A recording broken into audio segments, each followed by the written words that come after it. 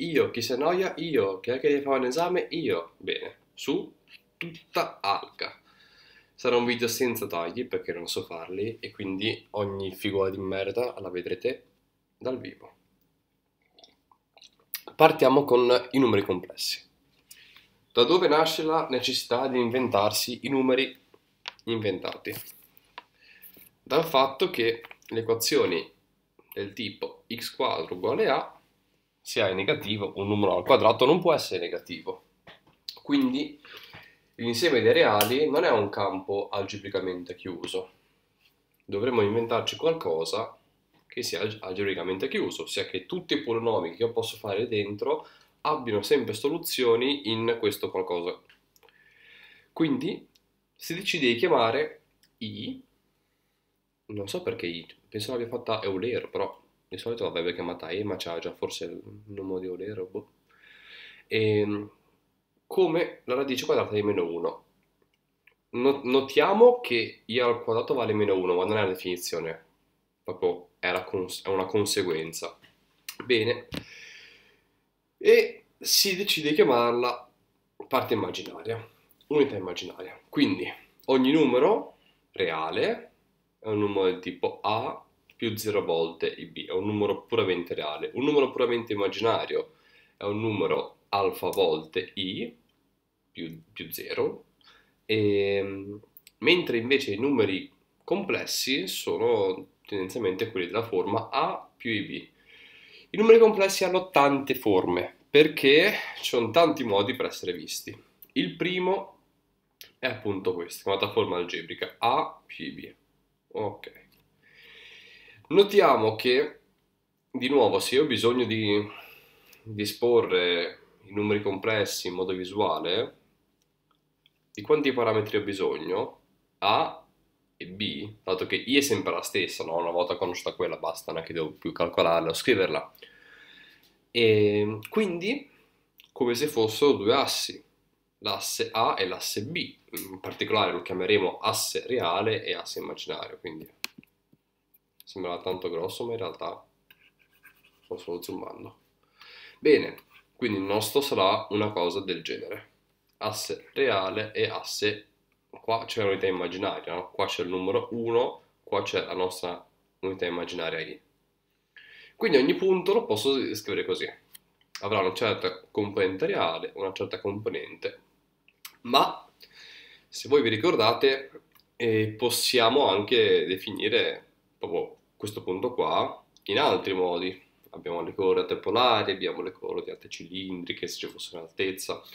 In particolare le coordinate polari cosa succederebbero? Ci basta per questo punto qua identificare la distanza e l'angolo. Quindi esiste un altro modo per descrivere gli angoli, con questa distanza e quest'angolo. E in che modo? Noi sappiamo, abbiamo A più IB a è la parte reale, quindi è la proiezione di D lungo l'asse reale, mentre invece la parte immaginaria è la proiezione di D lungo l'asse immaginaria. Quindi con la trigonometria se ne esce, però per farvi venire prima, ovviamente qua c'era scritto, quindi non sto a farlo. E, ehm, beh, ci sarà dopo. Ok, cose che notiamo. Se i al quadrato uguale a meno 1, quanto fa io al cubo? Eh, meno i, i alla quarta vale i, ok, continuiamo così, abbiamo questa serie qua, e alla 1 fa i, poi abbiamo meno 1, poi al cubo abbiamo meno i, poi abbiamo 1 e poi si ricomincia. Quindi calcolare le potenze di è molto facile, i alla 127, basta vedere se è un multiplo di 4 o no, anche questo. E, ehm, ok, adesso Voilà, asse immaginario, asse completo. Alcuni numeri vengono chiamati coniugati complessi di altri numeri, quali quelli che hanno la parte immaginaria cambiata di segno. Quindi se io mi trovo qua, basta andare nell'emisfero sotto. Se mi trovassi qua, basta cambiare l'emisfero. Mi trovo qua, così. Notare che i numeri reali sono quei numeri che hanno coniugato uguale a se stesso, perché se mi trovo all'altezza 0 e faccio il punto di simmetria rispetto all'asse x, mi ritrovo sempre su me stesso. Quindi è anche un ottimo modo per dimostrare, in futuro lo vedremo, se un numero è reale o no. Per esempio gli autovalori di endomorfismo diagonalizzabile, mazzi. Ok? Il, il coniugato ha alcune proprietà che se tu coniughi una cosa due volte ottieni se stessa, grazie al belino. Il coniugato della somma è la somma dei coniugati. Il coniugato del prodotto è il, coni- è il prodotto dei coniugati. E vabbè. ok, adesso parliamo di questa distanza qua. La distanza viene chiamata norma, ma noi fino a questa slide qua non sappiamo cos'è una norma. Quindi ce la facciamo finta di calcolare la distanza tra questi due punti qua. Ok? Questa coordinate A più B e queste qua al B basta fare A al quadrato più B al quadrato, il tutto sotto radice per il teorema di Pitagora, no? Ok. Allora qua spiegavo un pochettino cos'è. Ok, quindi chiamiamo questa distanza r la radice di a al quadrato più b al quadrato della norma del vettore. E proprietà della norma è che è sempre maggiore o uguale di 0 e ha senso perché un vettore non può avere lunghezza negativa, però può avere lunghezza 0 quando, quando è 0. Cioè, se io faccio un punto in 0, qual è la sua distanza da 0? Non, non c'è distanza, è 0. Ok,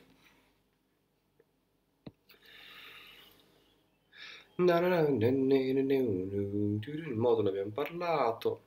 Va bene. Ah, ok. Queste le rivedremo, ma sono importanti. Proprietà del modulo. Oddio. Ok, proprietà del modulo. La prima si chiama diseguaglianza triangolare. Ah, non c'è qua di Schwarz. Vabbè. Avremo bisogno poi delle forme bilineari per parlare della diseguaglianza di Schwarz.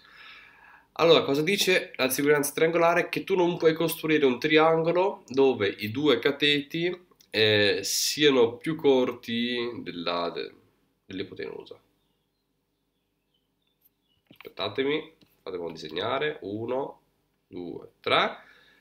Ok, esatto. Questo che è detto qua, A più B più C, se io srotolo ho A e B.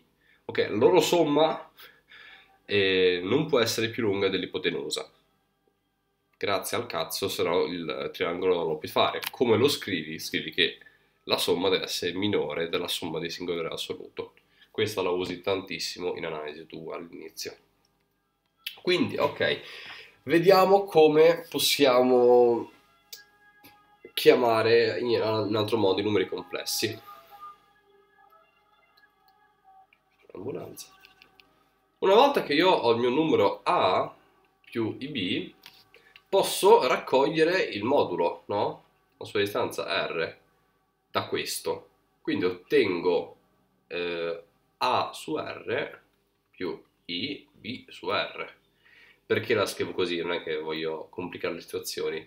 Perché si vede che esiste un unico angolo per cui questa roba qua è uguale a R per il coseno di quell'angolo più i volte il seno di quell'angolo. Ed ecco come abbiamo trovato θ, così.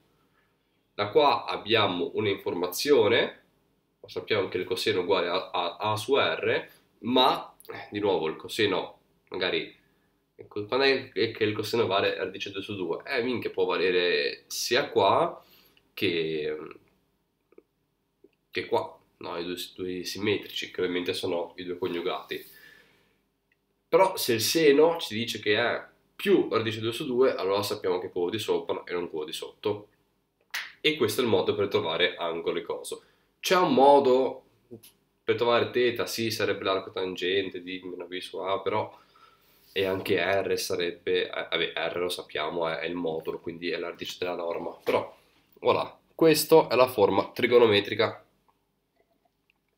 la forma trigonometrica si presta molto meglio ai calcoli. In ordine abbiamo la forma trigonometrica per utilità, la forma algebrica e la forma esponenziale, che cioè, vale solo per le potenze.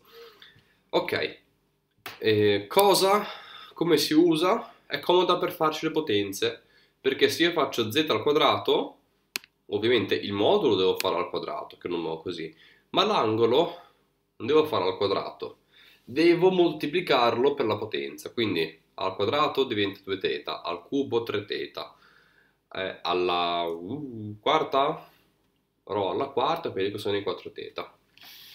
Ok, ehm...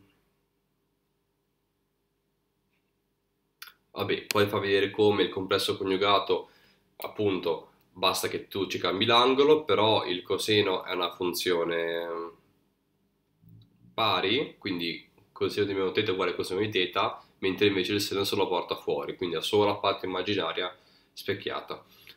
Ok, il prodotto è abbastanza facile, dovete sapere un po' di trigonometria, divisione idem, somma e differenza di angoli, elevamento a potenza ve l'ho spiegato. E adesso sono sicuro che ci spiegherà le radici. Ok, quando abbiamo un'equazione x alla n uguale z, ci verrebbe a dire x uguale radice ennesima di z. Perfetto. Ma la domanda è cosa, cosa significa radice ennesima di z? Bene, si fa così. Allora, una, una cosa carina è che le radici formano una figura regolare, sempre. Quindi se io ho z, x uguale radice ennesima di z, devo fare così, devo prendere z che è questa forma qua e fare la radice ennesima nel suo modulo, perché questo è come se fosse un numero reale. Poi abbiamo coseno di cosa? Di teta, ma dobbiamo contare appunto questa cosa qua, che se io mi sposto lungo i coniugati non cambia la radice, è sempre lo stesso valore, quindi abbiamo un 2k pi greco su n. Idem per il seno, più i volte il seno di 2k pi greco su n. E ovviamente questa deve valere, perché c'è un k perché vale con la molteplicità. E se io ho una radice ennesima, devo aspettarmi di ottenere n soluzioni. Come lo ottengo n da questa? Facendo variare k. k varia tra 0 e n-1 perché n-1? Perché tra 0 e n-1 ci sono n elementi, perché 0 va contato. Quindi la prima è radice ennesima per il coseno di θ. Poi la radice ennesima per il coseno di θ più 2π greco su 1. Più poi coseno di θ più 2 per 2 fa 4π greco diviso, ah eh, sì, diviso 2, eccetera, eccetera. Ok? vedete si formano sempre queste cose qua.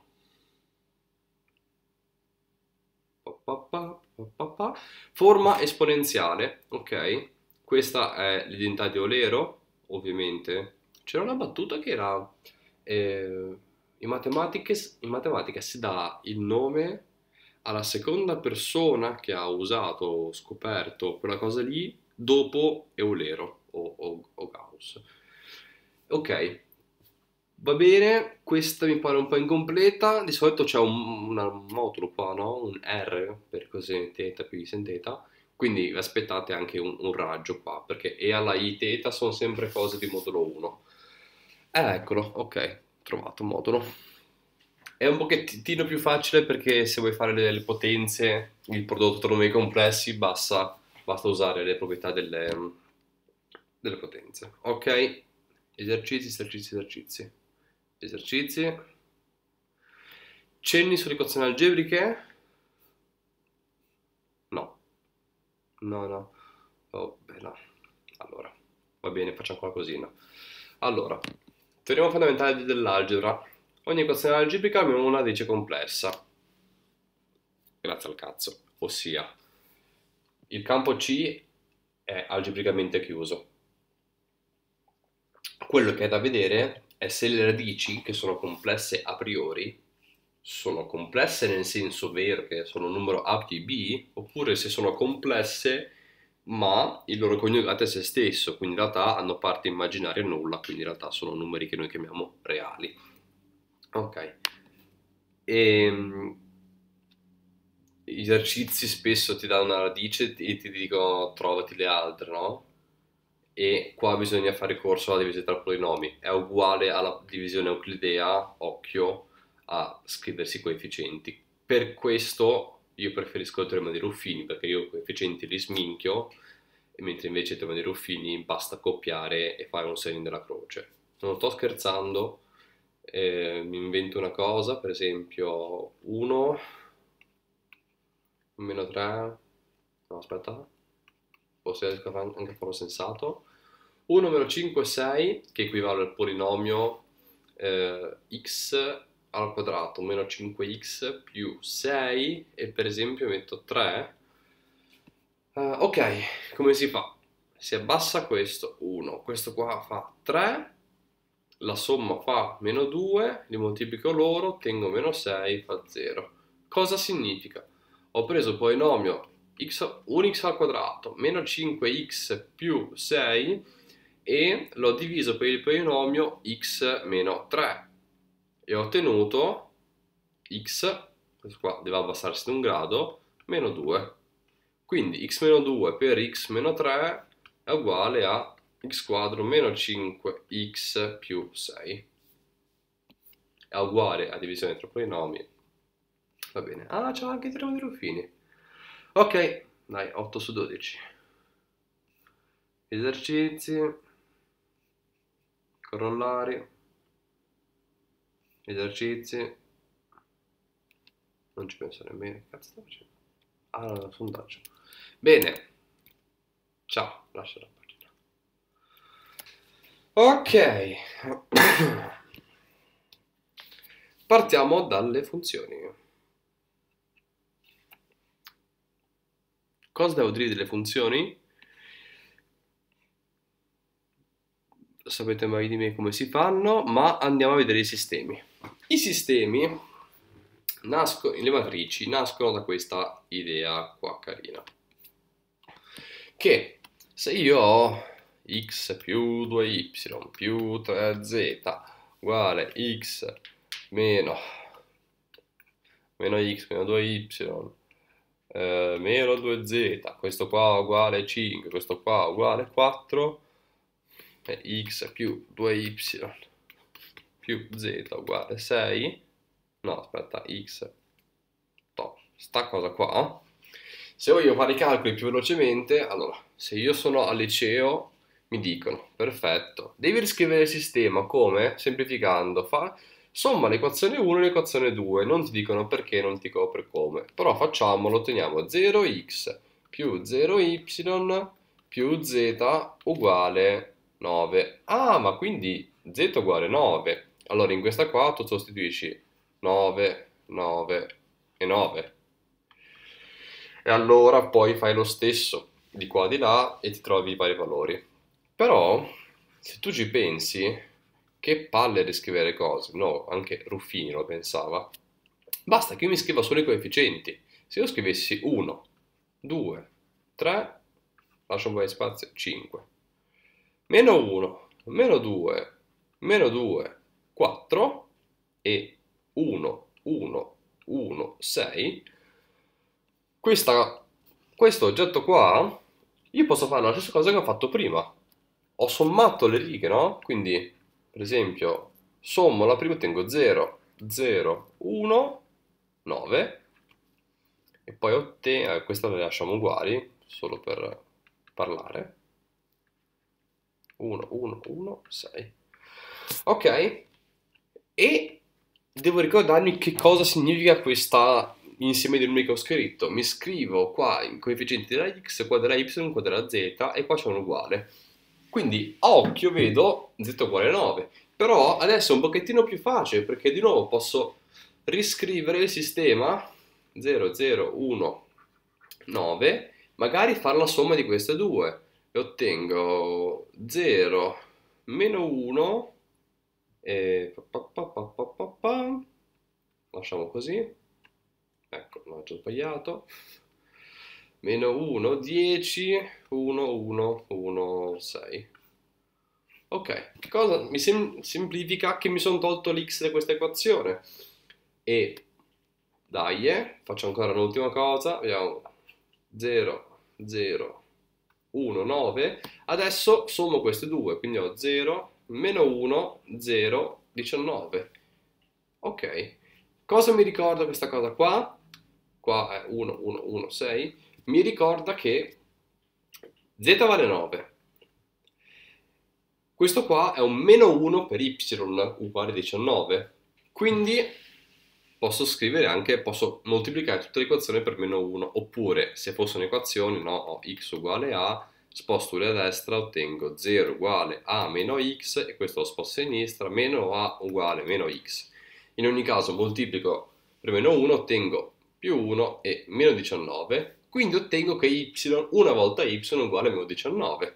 Perfetto, a questo punto se sono furbo sostituisco qua, se voglio usare le matrici che sto creando, allora dico perfetto, allora devo fare questa riga meno quest'altra, in questo modo ottengo 1, 0, 0 e 19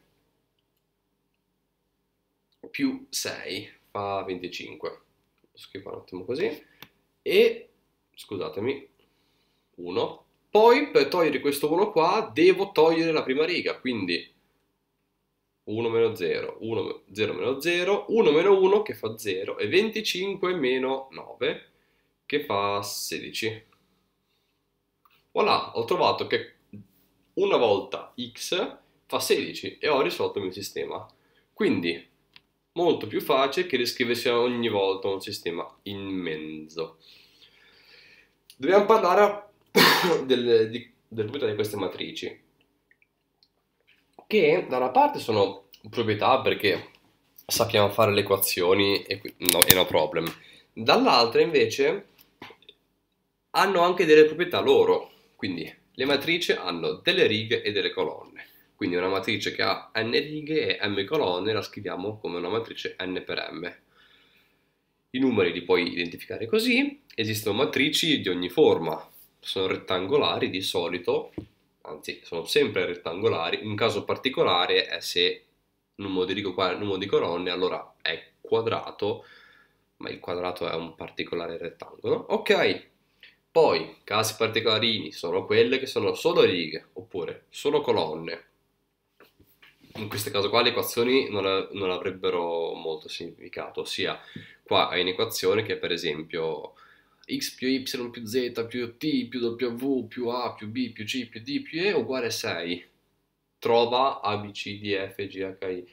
Eh, esistono un sacco di soluzioni. Questa invece è una soluzione, è un'equazione un po' strana, perché magari ti dice x uguale 1, x più y uguale, ah no, eh, x uguale 1, x uguale 2, x uguale 3, x uguale 3. E sono, boh, sono cose un po' strane, ma in pratica in realtà cosa ci servono? Identificano i vettori di R alla N. Ok. Su una matrice identifichiamo la diagonale principale e la controdiagonale e diamo dei nomi alle matrici particolarine. Se ci sono solo zeri al di sotto della matrice diagonale, per esempio qua, allora la, la chiamiamo triangolare superiore, perché questi numeri, aspetta che no non ci riesco, formano un triangolo. Idem al di sopra, ci sono solo zeri, allora c'è un triangolo in basso, triangolare inferiore, diagonale se lo è entrambi, se sono zeri ovunque, è così. Ecco, i nomi delle matrici, cioè sono un'infinità. Ok, un caso particolarino è la matrice identità, che equivale in pratica al nostro numero 1, ossia una matrice che ha solo una sola diagonale e 0 altrove. Perché dico che è come il nostro numero reale 1? Perché si comporta in pratica come il numero 1. 1 per x uguale x, l'identità per, per una matrice fa quella matrice. 1 alla meno 1 fa 1, con qualsiasi cosa intenda alla meno 1, e anche l'identità alla meno 1 fa eh, l'identità, ossia l'inversa, ma non sappiamo ancora cosa è la matrice inversa. Come si fa nella somma di matrici? Beh, devo essere la stessa taglia, se no non puoi sommarle, la cosa più, più facile è sovrapporle e far sì che ogni entrata si sommi con ogni entrata di un'altra cosa. Quindi deve avere lo stesso indice, stesso pedice. 1, 1, 1, 1, 2, 1, 2, 1. Seconda riga, prima colonna, con seconda riga, prima colonna. Seconda riga, seconda colonna, con seconda riga, seconda colonna. E le, le proprietà delle matrici si vedono qua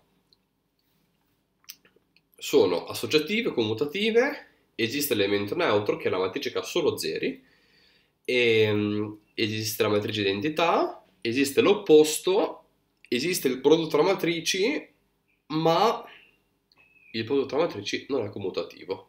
Questa è una peculiarità importante. Prodotto di... per matrici, allora, il caso più semplice abbiamo una matrice 1 per 1, ossia un numero quando io moltiplico un numero con una matrice, ogni sua entrata viene moltiplicata per questa matrice. Con questo affatto qua i determinanti sono molto importanti. E... Ehm,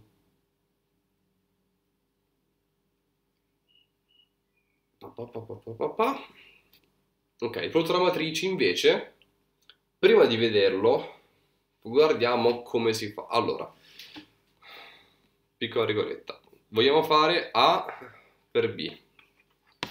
A vale n per m, n righe, m colonne. B non lo sappiamo come vale, ma il problema deve essere, deve essere definita così, m per W. Ossia, il numero di colonne della prima deve essere un numero di righe della seconda. Questo perché il prodotto tra matrici, il, pro, il caso base, ok, si scrive. Questo posso toglierlo. Ah, bello. Si può anche un po' ingrandire? No, no, no, no, no, no. No, no, no, no, no, no, no.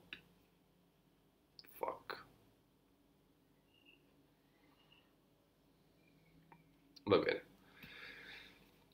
Ok, quindi, primo elemento per il primo elemento.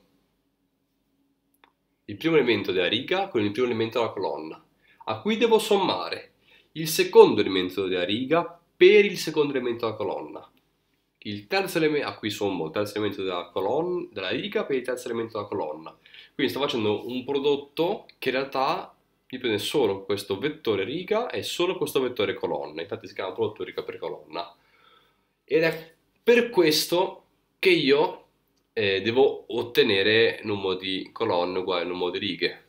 Vi faccio vedere come non verrebbe, no? Facciamo una matrice che sia 1, 0, 0, non, non, leggete, non leggete mai, 1, 0, 0, 1, 1, 1, quindi questa è una matrice che vale 2 eh, per 3, facciamo finta di, di sapere moltiplicare per una matrice 2 per 2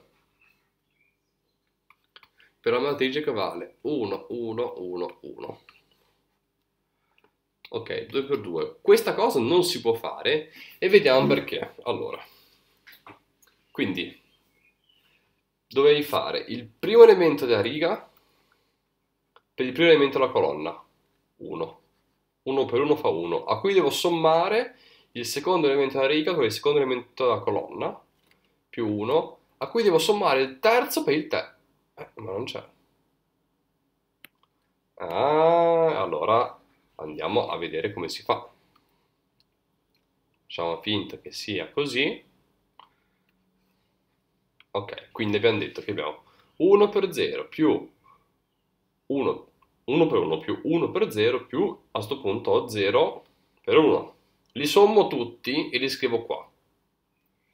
Poi devo fare lo stesso coso però con la seconda colonna, quindi fare 1 per 1 che fa 1, più 0 per 1 che fa 1, più 0 per 1 che fa 1, li sommo tutti e ottengo lui. E adesso la seconda cosa, abbiamo 1 per 1 che fa 1, più, aspetta, facciamo così, 1 per 1 scritto tre volte, quindi fa 3 e lo, lo scrivo solo cambiando colore per essere simpatico, ok? più questa per l'altra colonna, che sono uguali i calcoli, a 3.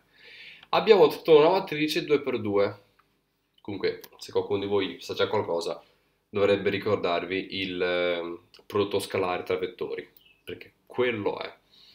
Abbiamo ottenuto questa qua, una 3x2, una 2x2.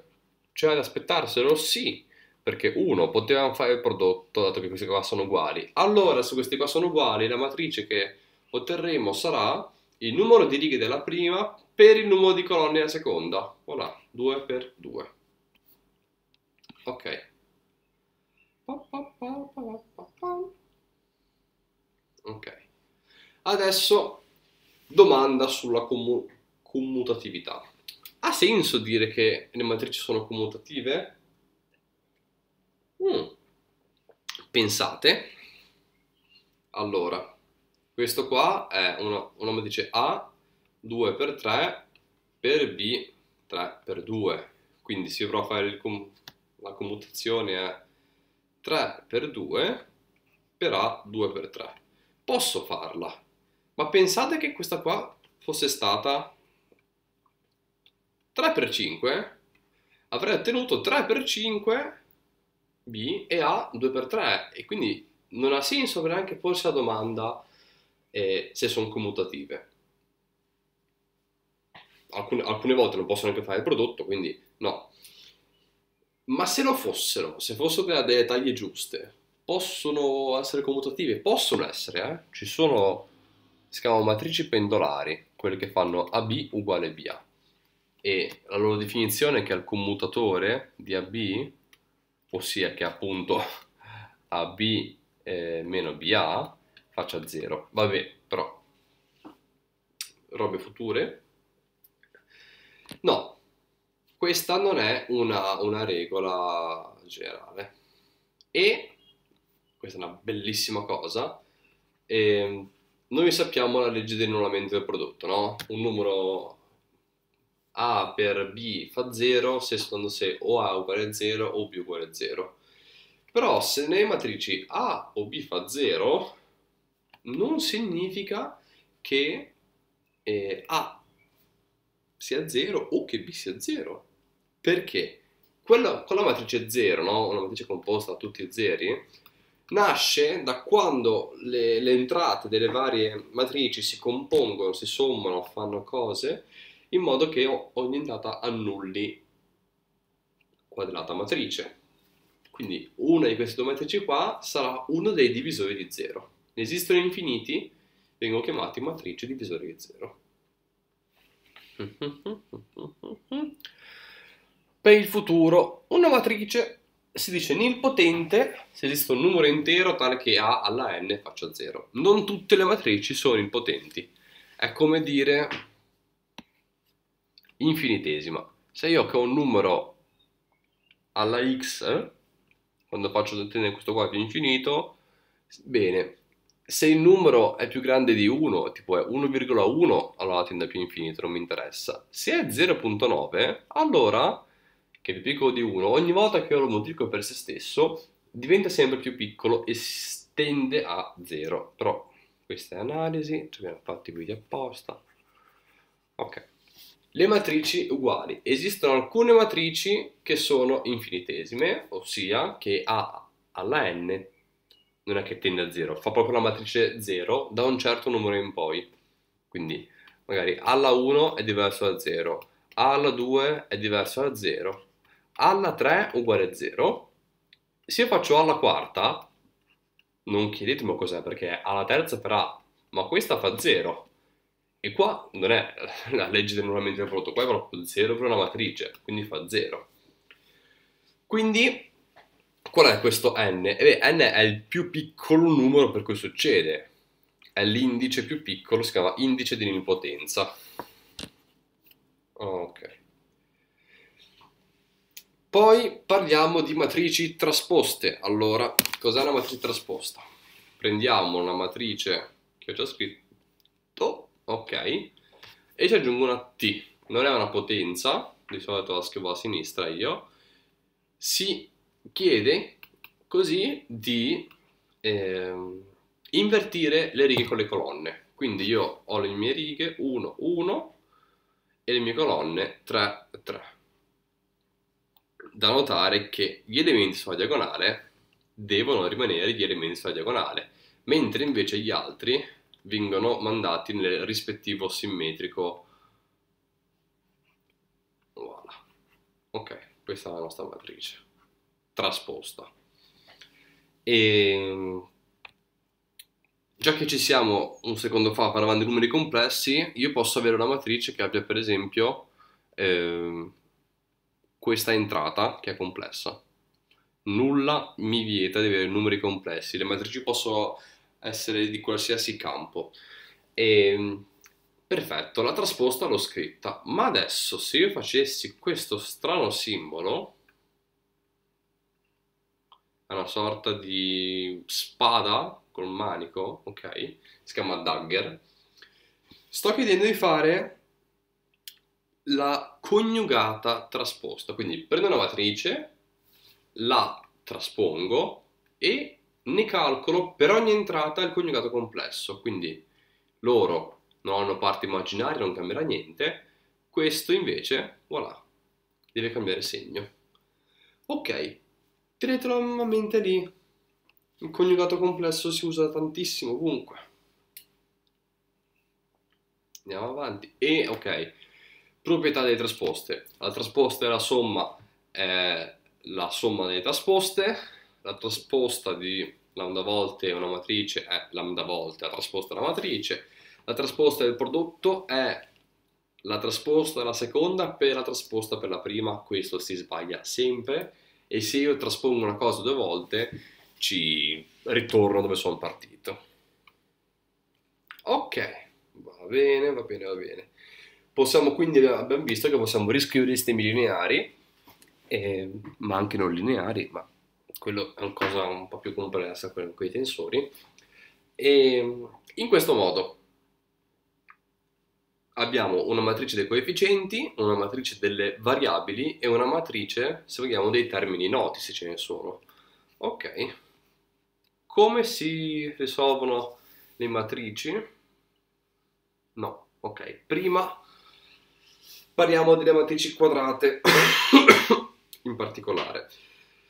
Le matrici quadrate, per chi di voi ha l'occhio, sa già perché si studiano, perché rappresentano gli endomorfismi. Cos'è un endomorfismo non lo sappiamo, ma dato che ci interessano sono le funzioni da sé in sé, no? tutti i polinomi che avete mai risolto di solito sono da R in R o da C in C. E, ehm, ok, parlando di matrici, dobbiamo vedere quando una matrice è invertibile. Ok? Una matrice è invertibile quando esiste la sua matrice inversa e la matrice inversa deve commutare con la sua mm, matrice sia a destra che a sinistra, quindi deve essere una, una matrice pendolare AB uguale BA, ma non solo, il loro prodotto non deve fare roba minchia, deve fare proprio la matrice identità, quella con tutti gli elementi sulla diagonale e 0 altrove. Allora chiamiamo questa qua P, la chiamiamo alla meno 1. Come si trova? Eh, Metodo 1 stupido. Ho una matrice 1, 1, 1, 1. Io devo verificare che a destra per una matrice A, B, C, D, D, vi faccio una matrice di identità. Ma non solo, devo anche verificare che A, B, C, D, perché ho questo puntatore schifoso? Ok. Per la matrice 1, 1, 1, 1, 1 gli faccio l'identità. Quindi se vogliamo qua un sistema, faccio riga per colonna e ottengo A più C e devo guardarla alla prima entrata di questa matrice che è 1, 0, 0, 1.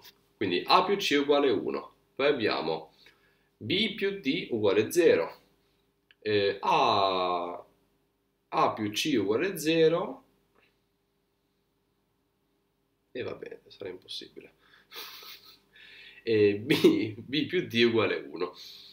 E, vabbè, trovate, la serie uscite, ma anche da qua. Quindi otterremo un sistema abbastanza brutto. Questo è il metodo, il metodo che non si usa per trovare le inverse. Ok. Allora, ora parliamo di matrici elementari. Le matrici elementari sono delle matrici che sono la matrice identità cambiata in qualcosina. Cos'è quel qualcosina? Allora, primo caso, ho scambiato una riga con un'altra, ho scambiato una colonna con un'altra. Ok, la chiamiamo matrice EIJ. Ho scambiato qua la, la riga iesima con la riga j-iesima. Poi la chiamiamo EI di lambda, quella che ho preso la matrice della riga iesima e l'ho cambiata con la riga lambda volte se stessa. Quindi in pratica ho preso l'identità, un numero di quegli uni, l'ho moltiplicato per un certo numero.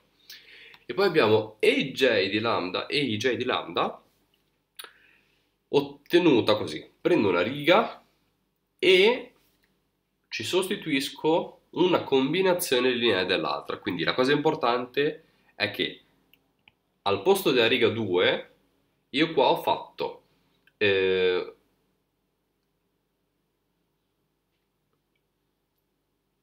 ok riga 2 meno 3 volte riga 1 è importante che io non faccia operazioni del tipo 2 riga 1 ehm, 2 riga 2 meno 3 ok deve essere una volta R1 più lambda volte perché sennò non è una matrice del tipo EIJ lambda e non valgono le proprietà. Nei sistemi di Gauss questa cosa è importantissima. Si cambia il determinante, si cambia il risultato dell'equazione di un sistema. Ok. Pa, pa, pa, sì, va bene. E, va bene. Questo è, un, è il metodo di Gauss, non lo spiega, lo spiego io. Ora che abbiamo questa cosa qua, noi possiamo prendere una matrice e dire riusciamo a trasformarla in una matrice triangolare? Al di là di cosa rappresenti un sistema, un tensore, una metrica, boh. Allora, sì, si può sempre, basta operare con queste tre matrici, ok? E quindi l'importante è scriversi ogni volta i passaggi. Per esempio, alla riga 2 io sostituisco la riga 2 più 3 volte la riga 1 perché? Perché ho fatto in modo che si annulli il primo coefficiente. Questo numero qua. L'ho fatto io a cacchio? No. Ho fatto in modo che ovviamente ho un meno 3 e un 1. Qual è quel numero? Io devo fare la riga 1, quindi quel meno 3 non posso cambiarlo, più alfa volte la riga 1. Qual è che si annulla? Meno 3 più alfa. Quando è che fa 0? Ah, quando alfa uguale 3, quindi devo fare riga 1 più alfa volte riga 1. Uh, riga 2 più alfa volte riga 1. Quindi è R2 più 3R1. Ok, questo è l'algoritmo di Gauss.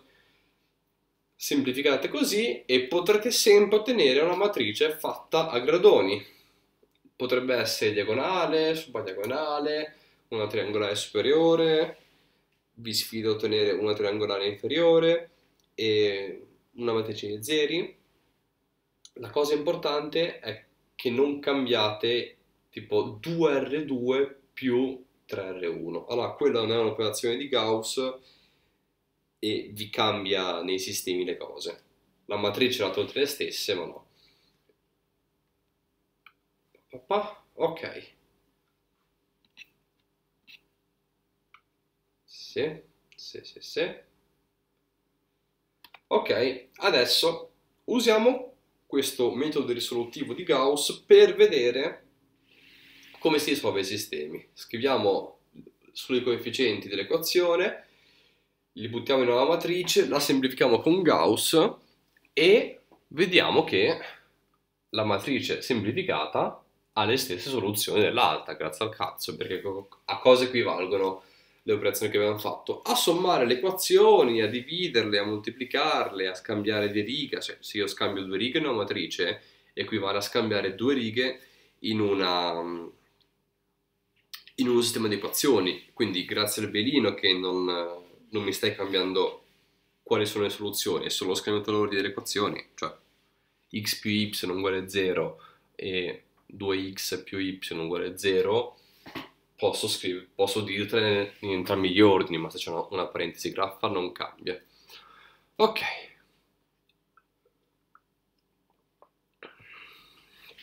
Ma pa pa pa pa Cosa sono i pivot? I pivot sono i primi elementi non nulli di ogni riga e una matrice totalmente ridotta si chiama così se tutti i pivot sono 1, quindi ho una matrice a gradoni, fatta in qualche modo a gradoni, e tutti i pivot sono 1. Si può sempre ottenere una cosa così. E... Ehm,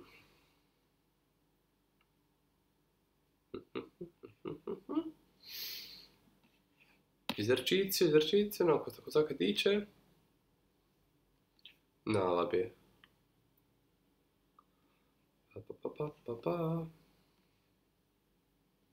Ok, adesso abbiamo citato le matrici elementari. A cosa servono? Se io fate finta che semplificando con Gauss ottenessi la matrice identità, Ah, figata, cioè sarebbe l'apoteosi, no? Una matrice con soli uno sulla diagonale. Cosa mi dice questa informazione riguardante la matrice inversa? Che se io prendo la mia matrice e la moltiplico a sinistra per tutte le matrici e i j di lambda che ho usato, allora il prodotto di tutte quelle matrici lì aggiunte a sinistra per la matrice a cui sono partito fa l'identità. Ma quindi io posso chiamare E1 per 2 per 3 fino a E con K, posso chiamarla la matrice inversa. E voilà, abbiamo trovato la matrice inversa. Non, non, non, non lo faccio sondaggio. Cosa significa in uh, valori completi? Lascio la pagina che si fa così. Ho una matrice che è eh, 3, 1, 2, 0, 0, 0, 1, 0, 2, 2, 0, 0. Va bene, brutta così. Primo passo. Vogliamo ottenere... No, ecco.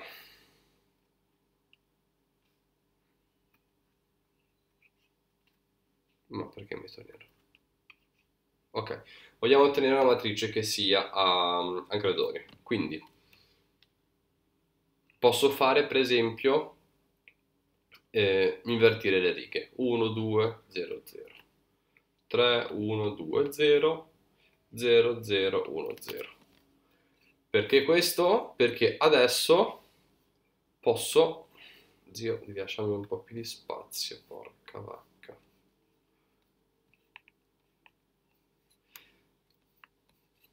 Ok. Adesso posso fare per esempio riga 1, mm, anzi no, riga 2 meno 3 volte riga 1. Quindi riga 2 meno 3 volte riga 1. Non posso metterci qua un alfa, questo non posso mettercelo. Quindi cosa ottengo? La prima rimarrà sempre 1, 2, 0, 0. Ma adesso abbiamo 3 meno 3 volte 1, che fa 0. 1 meno 2 volte 3, quindi 1 meno 6 che fa meno 5, 2, 0, poi abbiamo 0, 0, 1, 0. Ok, vogliamo ottenere l'identità? Eh, dobbiamo sottrarre, per esempio, a quest- alla seconda riga due volte la terza.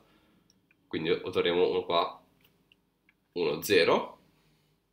Potremo dividere questo qua per meno 5 e quindi qua otterremo un meno 1 e potremo ottenere qua, sommare queste qua e otteniamo qua un 1, poi le risommiamo e otteniamo uno 0 qua e poi ottengo un 1 voilà. Si può sempre ottenere una cosa del genere. Quanti pivot ha? 1, 2, 3 e non posso fare altre domande. Per adesso. Ok adesso scrivendomi eh, i passaggi che avevo fatto, posso ricavare la matrice inversa. Però devo fare un prodotto di tante matrici. Quindi, se voi invece che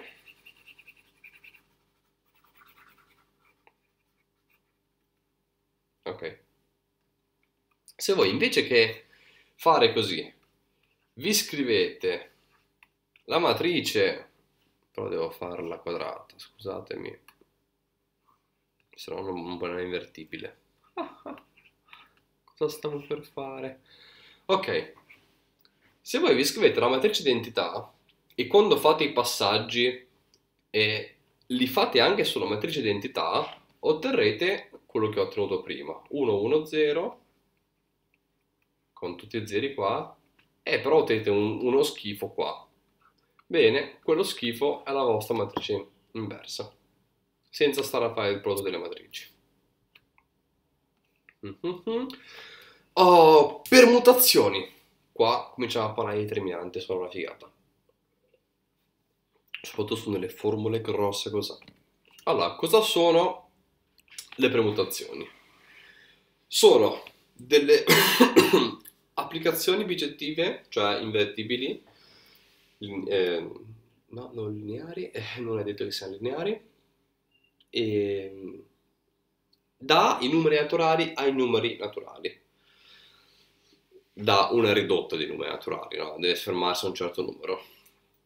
Ok, esistono permutazioni cicliche, non cicliche, semicicliche, a triangolo, buco, che volete. E cosa fanno? Spostano l'ordine delle cose. Quindi, per esempio, questa permutazione qua ci manda l'1 in 2, il 2 in 3, il 3 in 1 e il 4 in 4. Ecco perché devo essere definita da JN in JN. Perché se fosse definita da JN in JN più 1, ok? In pratica devo far stare 5 numeri in uno spazio di 4 o viceversa poi. E... Ehm, quanti modi ci sono per fare gli scambi? Qua abbiamo bisogno di un po' di calcolo combinatorio. Abbiamo n fattoriale modi. Questo è super importante. Quindi se io ho una, un insieme di tre numeri 2, 3. Quanti ci sono i modi per ordinarli? Sono 3 fattoriale, quindi 3 per 2 per 1 che fa 6. E perché? Perché posso scrivere i numeri come 1, 2, 3, 1, 3, 2, 2, 1, 3, 2, 3, 1, 3, 1, 2, 3, 2, 1 e basta, senza fare ripetizioni. Poi c'è anche la formula con le ripetizioni. Ok, è importante che sia bigettiva, perché se è bigettiva allora è invertibile e, e l'inversa è molto facile, è quella che ti manda, per esempio in quello che abbiamo visto, ti manda il 4 in 4, ti manda l'1 in 3, ti manda il 3 in 2 e ti manda il 2 in 1. E tu puoi sempre invertire una premutazione e anche questa qua sarà invertibile. E ok, gruppo delle premutazioni, la composizione. Ok.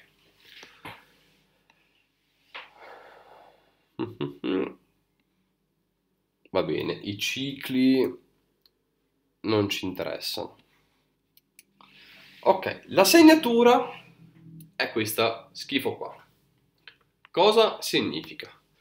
In pratica puoi assegnare a ogni permutazione un numero che vale 1 o meno 1. In particolare, un esempio, la segnatura della identità, o cos'è l'identità? È quella premutazione che ti manda l'1 in 1, il 2 in 2, il 3 in 3, il 4 in 4, il 5 in 5 e così via per sempre. È 1. E in realtà questa formula qua. Come si calcola? Si fa così. Prendiamo per esempio 1, 2, 3. Ok. E vediamo questa qua 1, 3, 2. Come l'ho ottenuta? Ho dovuto fare uno scambio. Ho invertito loro due. Allora, assegno SGN di sigma, SGN di sigma e assegno il valore meno 1. Mentre se la prenotazione mi fa fare per esempio 3, 1, 2, qua in realtà se volete ho fatto due scambi, quindi ho, ho dovuto scambiare, cioè ho fatto, ok, ho dovuto scambiare loro due, ah no, ho fatto uno, uno, uno scambio. Ah no, perché non parto qua. Ecco. Non mi tornava. Ok, partiamo da 1, 2, 3 ovviamente. Quindi ho dovuto scambiare loro due, per esempio, ottenendo la, la, la coppia 2, 1, 3. E poi ho dovuto scambiare loro due. Quindi ho fatto due scambi. Allora definisco il segno di sigma uguale 1.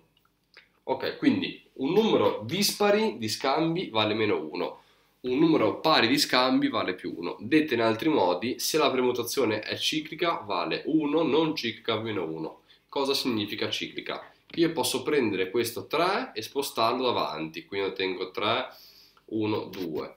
Lo risposto davanti, 2, 3, 1. Lo risposto davanti, ottengo 1, 2, 3. Queste qua sono quelle cicliche. Quelle che invece proprio mi cambiano solo un elemento non sono cicliche. Quindi per esempio 1, 2, 3, 4. Se io ottengo 1, 4, 3, 2, non c'è modo che io l'abbia ottenuto spostando lui in cima, quindi qua, e continuando il giochino, perché il 4 deve stare tra il 3 e l'1, diciamo male. Quindi, ah, in mezzo, in mezzo ma non così cioè perché se invertissi anche lui ottengo questo. Ok, non c'è modo che ottenga questa cosa qua. Riesco a scappare sempre i tempi sbagliati, perfetto. Perfetto, allora abbiamo la, la composizione di permutazioni, la segnatura è il prodotto delle singole segnature. Cosa ci serve? Ci serve Ok, questo non ci interessa dopo. Predeterminante. Il determinante è questo.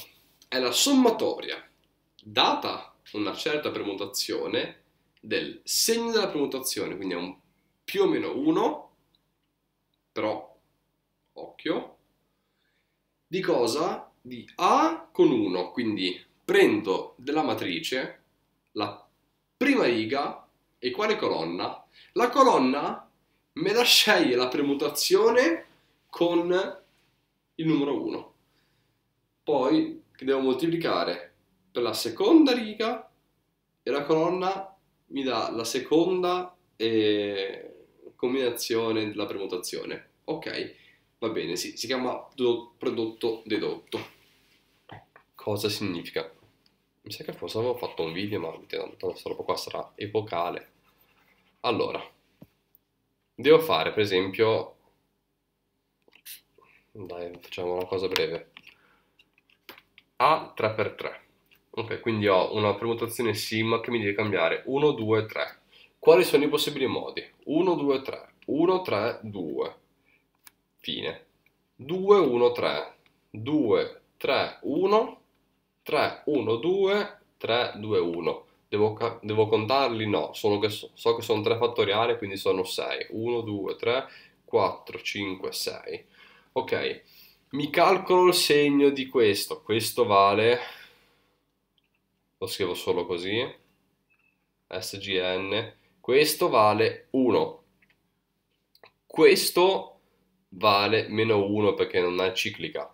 Questo non è ciclica, vale meno 1 questa è circa vale 1, questa non è circa vale meno 1, questa non è circa vale meno 1. Ok. In sé che c'è qualcosa che non va perché dovrebbe essere 3 3, invece che sono 4 e 2, allora questa è lei. Qua devo fare cosa? Uno scambio. Eh, no, direi che Boh, ok, chi se ne fotte. Allora, il determinante di A è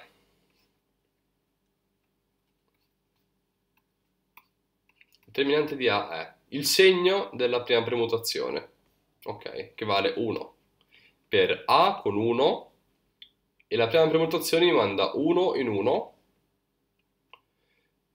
poi abbiamo A2, la seconda me la manda in 2 più A3 e la terza me la manda in 3 poi a cui devo sommare è una sommatoria.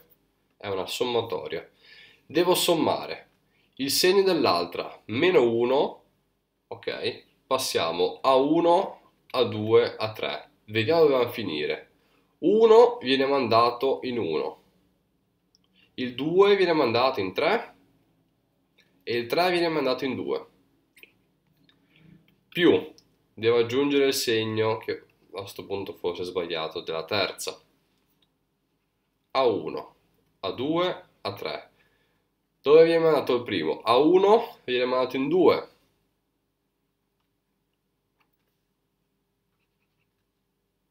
A2 viene mandato in 1, A3 viene mandato in 3. Ok, così così fino a sommatori di 6 termini. Quindi in realtà c'è un altro modo per scriversi il determinante, è la sommatoria del segno della permutazione per la produttoria di A con I segno di I. Voilà. Più compatta e più brutta. Il determinante è una funzione particolarissima, è l'unica nel suo genere che ha le, ca- le caratteristiche che ha. Vediamo un po' di casi particolari su come si calcolano le cose. Allora, se la matrice è diagonale, allora semplicemente se io ho A 1, 2 mi fa 0 e quindi quel prodotto dedotto mi farà 0. Quindi cosa che rimane? Rimangono solo le cose diverse da 0, ossia gli elementi sulla diagonale. Il determinante dell'identità è 1 perché è una produttoria di uni. Ma anche se una matrice triangolare è superiore o inferiore, allora posso semplicemente fare il prodotto degli elementi sulla diagonale, sia inferiore che sia superiore che inferiore. Se è nulla, il determinante uguale a 0. Se io moltiplico una riga, una colonna per una costante, allora il determinante è quella costante per il determinante.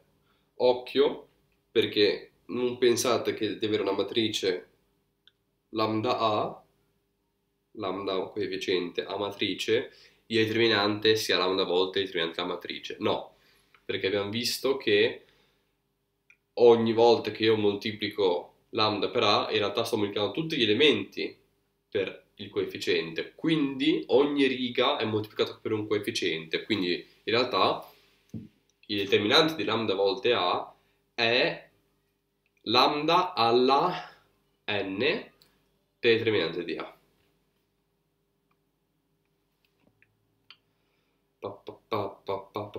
Ok, se scambio due righe, allora il determinante cambia segno.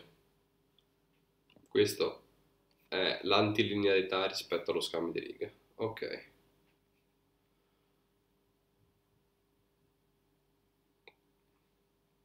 Allora, poi, altre proprietà. Due righe uguali o proporzionali, allora il determinante fa 0, questo perché la sommatoria dei prodotti dedotti si annulla.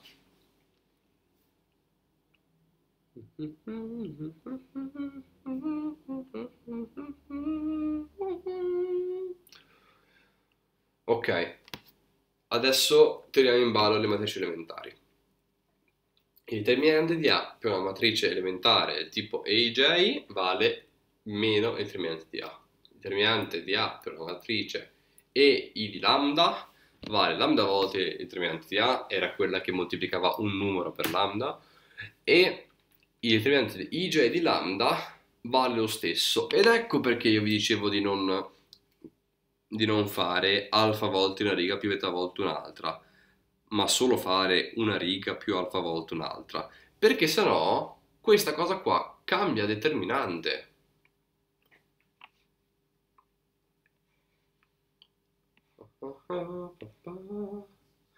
Ok, a cosa ci serve? Per vedere se le matrici sono invertibili. Se il determinante uguale a 0, la matrice non è, non è invertibile. Questo perché ci sono alcune righe che sono dipendenti tra loro. Mm-hmm. Ok, teorema di Binet ci dice che il determinante del prodotto uguale al prodotto dei determinanti. Queste cose qua dire sono molto belle. E il teorema di Laplace ci spiega come calcolarlo senza stare a fare la sommatoria, il segno della permutazione per la produttoria di A con I della permutazione iesima.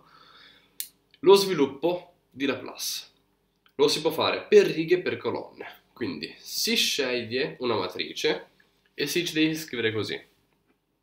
Assegniamo eh, faccio questa griglia qua solo per capire la formula è più che esaustiva ma allora calcoliamo i determinanti di questa roba qua devo scrivere il segno di quell'elemento il segno è dato da meno 1 al numero di riga più colonna oppure al numero di riga più 1 oppure vi imparate lo schemettino più o meno più o meno più o meno tanto basta fare quindi è meno 1 alla 1 più 1 che fa 2 ed è questo più questo simbolo questo calcolo deriva da questo più per l'elemento dove ci ho messo la croce quindi è un 3 per il determinante della matrice tenuta cancellando questa colonna e questa riga. Quindi non lo calcolo, lo scrivo 0, 1, 2, 0. Adesso devo fare più cosa? Avrei per esempio deciso di farlo stupidamente sulla prima riga. Devo finire la riga. Più, più, meno 1 alla seconda riga, prima colonna, ottengo 3, ossia un meno 1. Ma questo meno 1 o lo calcolo così in modo stupido o è già calcolato così, è questo meno. Per cosa? Per il coefficiente che è qua sotto, cioè è un 1, per il determinante della matrice ottenuta cancellando riga e colonna, ossia il determinante di 0, 1, 1, 0, che vale meno 1, la fate ad occhio. E pa, pa, pa, più, lo scrivo, basta, non, non, lentezza fino a una certa, ok, pa, pa. questo ci semplifica i calcoli perché il determinante di una 3x3 ci corrisponde a 3 determinanti 2x2, ma li metterci 2x2 noi sappiamo fare a occhio perché siamo intelligentissimi, cioè A, B, C, D, il determinante è AD meno BC questo per questo meno questo per questo. Lo potete verificare che è uguale al teorema di Laplace, al sviluppo con la produttoria della sommatoria, Ok, questo è il primo teorema di Laplace. Per il secondo teorema di Laplace invece ci dice che se io faccio la sommatoria di un numero di un elemento in una certa riga per il complemento di un'altra riga e li sommo tutti, no? Di tutta la riga ottengo 0. Perché mi spiega prima cosa l'aggiunta? Perché il secondo teorema di Laplace si dimostra con l'aggiunta. Cos'è l'aggiunta? Avete presente che prima io vi ho chiamato una matrice trasposta coniugata? Ok? Anche quella si chiama aggiunta, ma non è questa aggiunta. E ehm, il problema è l'italiano, perché in inglese esistono due termini che sono adjugate e adjoin. E direi adjugate sta per uh, questa qua, che di cui stiamo vedendo adesso, mentre adjoin è l'altra. Cosa succede? L'aggiunta è una matrice ridotta. Quindi, per esempio, questa qua, anzi no, eh, mi, mi, spiego un attimo meglio, che è giusto che spiegassi meglio qua. L'aggiunta è una matrice in cui in ogni entrata, in ogni elemento A con N, N, A con IJ, ci, siamo, ci stiamo intendendo, viene sostituito il suo complemento algebrico, ossia quello che vi dicevo io, il coefficiente meno 1 alla riga più 1 o riga più colonna, ok? O, o voi ricordate, per il determinante della sottomatrice ottenuta cancellando riga e colonna. Se io calcolo questa menata di palle pazzesca per ogni elemento della matrice e lo sostituisco, fate finta, questo qua quant'è che vale? Questo qua vale 1 e lui ottengo 0 meno 2, 1 per meno 2 fa meno 2, ok? Se io mi faccio una matrice dove al primo elemento sostituisco meno 2 e lo faccio così per tutti gli altri, questa la posso chiamare A star, che è la matrice aggiunta. Ok. Cosa mi serve l'aggiunta? Mi serve per, con il secondo teorema di Laplace, calcolarmi l'inversa. Perché basta fare l'aggiunta diviso il determinante di A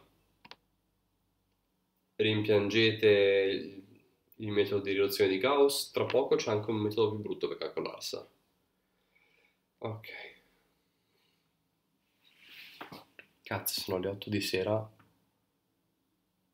A quanto sono di registrazione? Vabbè. Ok, parliamo di rango. Ok, non, non ci penso nemmeno a chiamarla caratteristica. Si chiama rango rho di A ed è ed ecco, è una caratteristica delle matrici. Allora, viene definita come la taglia più grossa di una delle sottomatrici che abbiamo visto, ok? In particolare, in realtà, puoi ottenere quelle matrici in tutti i modi, cancellando anche più righe. Fate finta di avere una matrice 4x4 se no dai una, una matrice 20x20 che ha per esempio 1 1 1 e poi, e poi da qua in poi sono 20 righe di zeri no? zeri zeri zeri zeri ok io calcolo i determinanti cancello una riga una colonna e mi, mi viene 0 calcolo il determinante riga colonna mi viene 0 continua a cancellare 2, 3, 4, 5 righe finché non ottengo per esempio una matrice identità. Ok, che è 3x3. Allora il rango di questa matrice è 3. Questo è importante per i, i teoremi che si chiamano quelli importanti, tipo nullità più rango. Ecco, giusto per... Cosa vediamo? Prodotto eh, matrice elementare per matrice non cambia il rango. Eh, prodotto numero per matrice, allora non cambia il rango. E se, la mat- se eh, A è rettangolare, B è invertibile e C è invertibile, il rango di A è uguale al rango di B a C. Ok. Ok, teorema di Kronecker. Avremo prima bisogno di parlare dell'orlatura, ma qua a quanto pare prima si fanno le cose e poi si spiegano. Abbiamo una matrice, al, ah, a proposito, la cosa bella è che il rango lo puoi calcolare di matrici non quadrate, perché è una caratteristica della matrice, proprio come elemento geometrico, non come caso particolare di un numerino che posso affiancare a una matrice, ha un significato geometrico ben preciso, con una dimensione di un certo spazio. Ok, il teorema di Kronecker ci dice che se esiste un minore di dimensione t che non sia nullo e se io urlo quel minore in tutti i modi allora e se tutti quei minori che ho calcolato sono 0 il rango è proprio l'ordine t che ho visto Ok. Per esempio, questa matrice. Il primo minore, 1, 2, 0, 1, è diverso da 0, perché vale 1, ok? Devo urlarlo in tutti i modi. Dovrei urlarlo in come? Dovrei urlare eh, aggiungendo una riga, una colonna, due righe, due colonne, due righe, tre colonne, tre righe, quattro colonne, ma in realtà c'è una cosa bella perché fate finta che io ho calcolato Ah, non posso tornare indietro. Ok. Ah, minchia, stavo scrivendo così grande. Ehm, 1, 2, 0, 1. Ok. Il determinante di questa roba qua vale 1. Io dove... E questa qua è un 2x2. Dovrei adesso vedere se le 3x3, tutte le varie 3x3 che ci sono, hanno dei valori nulli, ma anche quelli dei 4x4, e qua sono un sacco, dei 5x5, ok? Fino alla n per n, che in realtà, n per n, che in realtà è solo un'unica matrice. Il teorema mi dice, oh zio, se tutti questi qua sono 0, non stare ad andare a calcolarti questi, faranno tutti 0, quindi l'unico, il eh, il più grande per cui vale è quello che tu hai calcolato. Ok.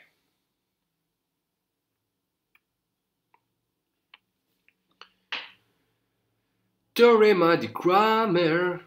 Questo è utile per i è utile per risolvere i sistemi. Se A è invertibile, allora il sistema AX uguale B posso moltiplicare a sinistra per A alla meno 1 e avrei A alla meno 1 per A per X ma A alla, alla meno 1 per A fa l'identità, quindi identità per x uguale alla meno 1 per b, ma l'identità per x fa proprio x, quindi ottengo x uguale alla meno 1 per b. Ma un secondo fa abbiamo visto cos'è alla meno 1, ossia A aggiunta per b diviso determinante di A. Oh mio Dio, quindi per risolvere un sistema lineare che era una cagata devo calcolarmi un infottio di determinanti? No, no, no, no, no, no. Questo è il teorema. Poi c'è gli esercizi che sono più facili. Basta fare così. Dato che è un vettore colonna x con n soluzioni, come ottengo queste n soluzioni? Basta in realtà che io prenda la colonna dei termini noti, la butti al posto della prima colonna di A, calcolo i determinanti di questa matrice, lo divido per i determinanti di A e ho trovato la prima soluzione. La seconda è data prendendo la colonna dei termini noti, la butto nella seconda colonna di A, ne calcolo il determinante e avete capito il giochino cos'ha. Voilà. Ok. Alto teoremozzo completo. Abbiamo sempre un sistema A x uguale B e ci dice che a soluzione se stando se il rango di A è uguale al rango di A a cui ho aggiunto la colonna di B. In particolare, se i due ranghi sono uguali a T, allora ci sono infinito alla n, basta, ignora. Ah, vabbè. Ci sono infinito alla n-t. Che cosa significa infinità meno t? Significa, per esempio, in un vettore che avevo detto prima, immaginate avere un sistema che vale x più y più z uguale 5. Ok, trovami questi tre numeri magici che la somma fa 5. Eh ma zio, ce ne sono un sacco. Non solo, ma anche se tu mi dicessi fissa, fissa x, no? x vale 0. Trovami dei numeri x più y a cui somma faccia 5 Zio, cioè sono sempre infiniti. Cioè, quell'infinito dipende da... Ho, quanti parametri? Beh, in realtà ne ho due. Perché se io ne fisso uno, allora esistono infinite soluzioni. Quindi se ne fissassi uno avrei x più y più z uguale 5. Allora posso esprimere per esempio z come 5 meno y meno z spero di non aver invertito le righe ok quindi cosa rappresentano queste infidolati? Sono il numero di variabili che non sono fissate, che sono libere di variare, no? Per esempio, nella cosa che appena detto, x sì che è una variabile, ma è fissata, perché vale 5 meno y meno x, mentre invece y e z sono liberi di variare, quindi sono le variabili libere.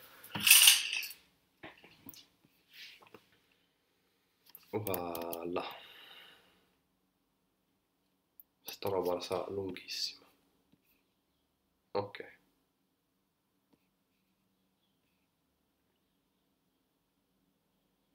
No, vi prego, vi prego, no, no, no, no, no. Le coordinate le sappiamo, diciamo così. Va. Ah, questa è carina. Allora, la, la norma non l'abbiamo ancora vista, però avete visto che è x quadro più y quadro, ok?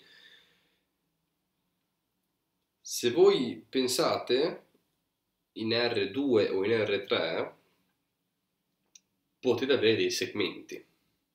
Quanto sono questi lunghi? Quando sono lunghi questi segmenti?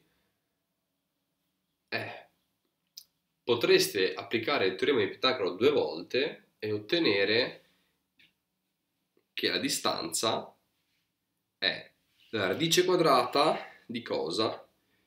Della x del primo meno la x del secondo al quadrato più la x, la y del secondo meno la y del primo al quadrato, ok? Così avanti. Quindi la cosa bella è che è, possiamo dire che la distanza tra due punti è la, la norma della differenza dei vettori che rappresentano. Le coordinate le sappiamo, le coordinate le sappiamo, gli spazi di RNA sappiamo, questa la sappiamo, gli esercizi non li sappiamo fare, i vettori non ci servono, vettori, operazioni su vettori, dai raga, um, testa, coda si ottengono, sposto a D su, su, su B, faccio così, oppure regole del parallelogramma, vabbè dai. Vettori, vettori, prodotto scalare. Prodotto scalare adesso lo leggete come un prodotto di matrici. In particolare mettete il primo vettore in colonna, l'altro in riga e avete questo. Pa, pa, pa, pa, pa, pa. Geometria analitica. Vediamo. Ok, allora. Abbiamo tre punti. Siamo nel, nel piano, nello spazio.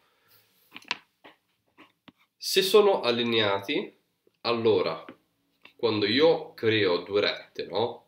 Per esempio, entrambe le faccio passare per A, allora il loro prodotto vettore fa 0.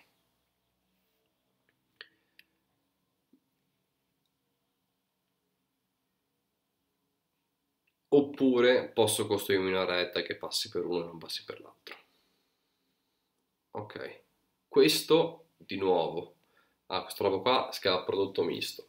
Se ho quattro punti, allora, tre punti nello spazio sono di sicuro eh, allineati, quindi passa sempre eh, un piano per tre punti. Per quattro punti non è detto, ma se sono complenari,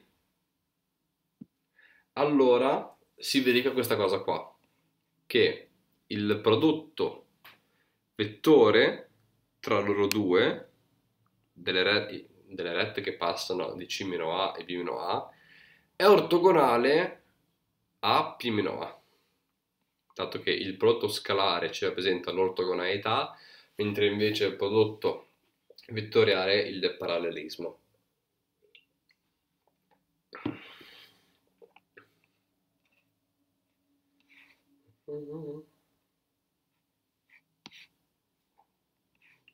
Ok, rette nel piano le sappiamo fare y uguale a più alfa volte x.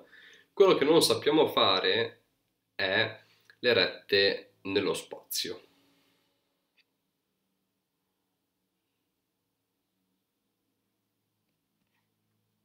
Vabbè, ok. Le rette nello spazio devono essere dall'intersezione di un piano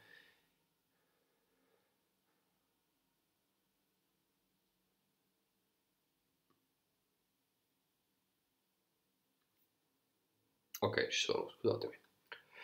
Devono essere nate dall'intersezione di un piano con un altro piano, perché non c'è altro modo per rappresentarle, se non in forma parametrica. Cosa significa in forma parametrica? Bisogna decretare che per esempio x o y o z, una variabile, valga una combinazione lineare di quel parametro. Se sei intelligente, scegli 1. Una volta un parametro chiamato t. E allora tu stai aggiungendo un'equazione che vale per esempio x uguale t. Ma quindi il sistema di intersezione dei due piani che mi dà la retta deve cambiare e devo sostituire x uguale t nell'altra ottenendo una nuova formulazione in cui ho x uguale qualcosa, y uguale qualcosa, z uguale qualcosa. In particolare, i coefficienti dei t sono i vettori direzionali della retta, mentre invece i termini noti sono uno dei punti generici per cui passa la retta, dato che in realtà una retta nello spazio se io do solo il coefficiente, no? Ne passano infinite, ma se io dico che deve passare per un punto, allora è l'unica che ha quel vettore direzionale che passa per lì, è fissata.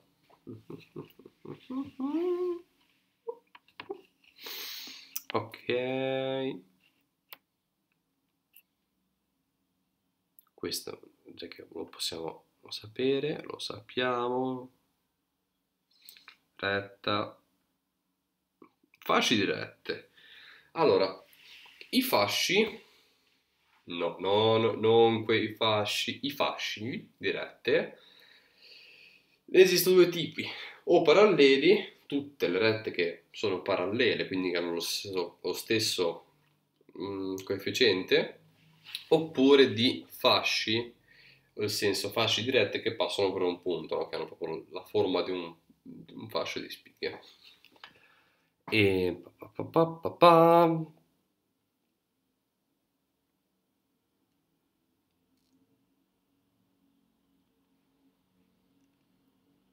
Ok, com'è che si ottengono? Vabbè, dobbiamo però farlo con i piani. Abbiamo una combinazione lineare dei, dei coefficienti dei, dei piani. Faccio ricordare che il coefficiente, il vettore direzionale di un piano è quello semplicemente ax più y più cz è proprio abc ed è sempre perpendicolare al piano in pratica come se fosse il vettore direzionale della retta perpendicolare, il che ci semplifica molto i casi. Qua, uh, sull'oggettività non, non ci interessa.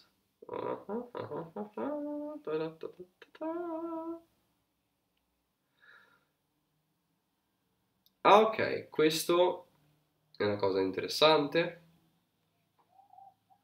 Il, quello che vi ho detto prima, il prodotto misto lo si può scrivere sempre così.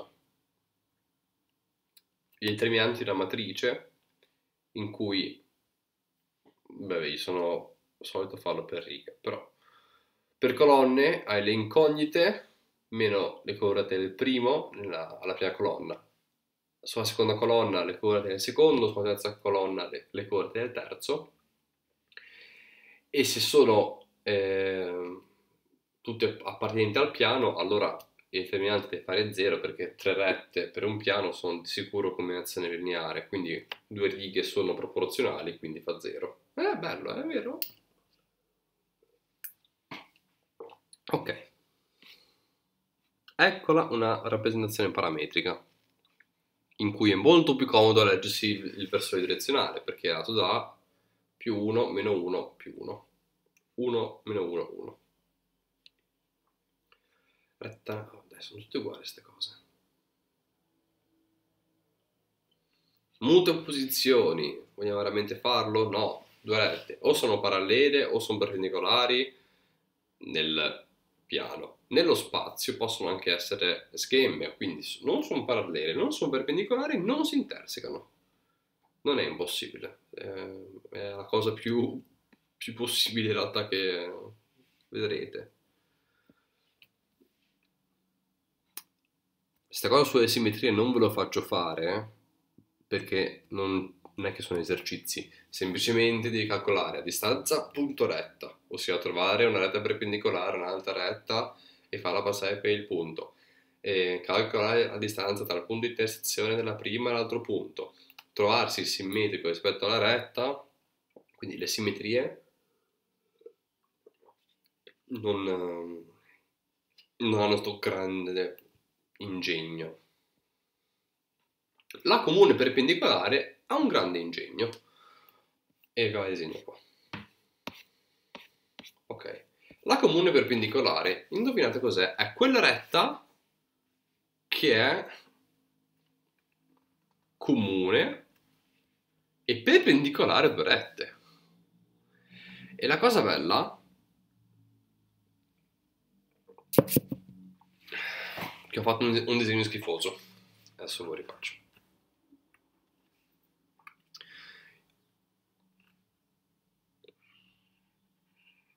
Queste due rette qua sono nello spazio e non si intersecano. Sembrano intersecarsi, ma sono una a un chilometro dall'altra. Però esiste una retta che le unisce, che le interseca e le unisce il disegno sembra fatto male, ma ragazzi i disegni nello spazio sono fatti male. Immaginatevi, no? Questo qua sia molto più in alto, qua ci passa sopra. Ok, qua la retta è perpendicolare a entrambe. Come si fa a calcolare questa retta? Non dovete ricordarvi le forme, dovete ricordarvi il ragionamento. Ok, voi prendete un punto di questa e un punto di questa. Come la fate? La fate in forma parametrica, cioè avete t, t, t più 1 più 1 più 1 x, y, z per la prima retta e qualcos'altro per la seconda. Ok, questo qua è il vettore direzionale della prima e questo qua della seconda più l'intersezione per un punto, il passaggio per un punto. Allora, voi considerate semplicemente tutte le possibili rette che le uniscono. In tutti i possibili punti. Come fate? Tutte queste rette sono le infinite, infinite rette, è proprio giusto dire infinito, infinito rette qua, ehm, che nascono dalla differenza di queste due. Quindi prendete per esempio il vettore x fate x della retta 1 meno x della retta 2 poi fate y della retta 1 meno y della retta 2 z della retta 1 meno z della retta altra. E vi date questo vettore. Adesso dovete fare un po' di ordine. Dovete cancellare quelle che sono parallele quelle che si, che si intersecano quelle che sono inclinate in questo modo com'è che fate? Dovete andare pian piano